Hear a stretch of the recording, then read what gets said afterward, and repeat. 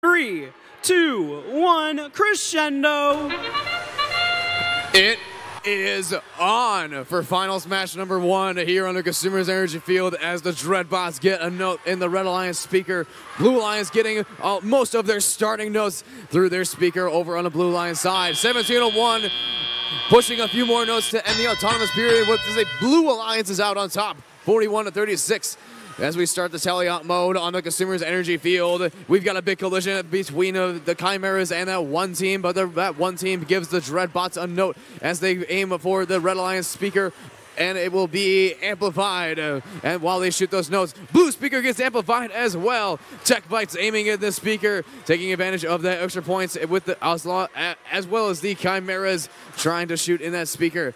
Dreadbots wasting no time at all and trying to cycle as many notes as they can through that amplifier so they can get that amplifi amplification for their alliance.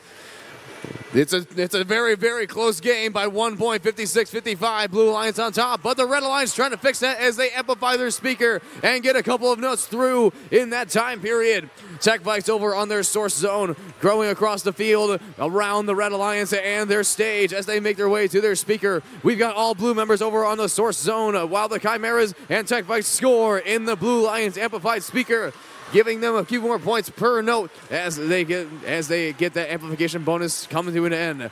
The Robo Jackets will go across the field while their partner is trying to score in the speaker. Tech Vikes trying to load that amplifier as much as they can. Red speaker gets amplified. Dreadbots and Robo Cubs score a couple of notes into that speaker, giving almost giving them a lead, but that blue speaker is amplified to strengthen their lead 98 to 84 with 47 seconds left in play. Chimeras score in the amplified speaker.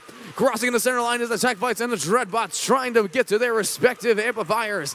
Getting a few more notes for their alliances, almost getting that amplifier ready to be amplified for both of these alliances. Robo Jackets launch a note to the Tech Vikes so they can score in their amplified blue speaker. Red speaker gets amplified as well. 25 seconds left in this match as the blue speaker comes to an end with the amplification period. Dreadbots get a note and they're trying to get their notes inside of that speaker as well. With 20 seconds left, Tech Vikes go for the trap and score for their alliance. Chimeras go center stage, Robo Wranglers stage right. Blue Lions in the lead, 117 to 105 seconds left. We get all robots on stage as time expires here on the Consumers Energy Field. Match number one with a new high score of 131 points. What an exciting match. Almost 100 speaker points alone for that Blue Alliance.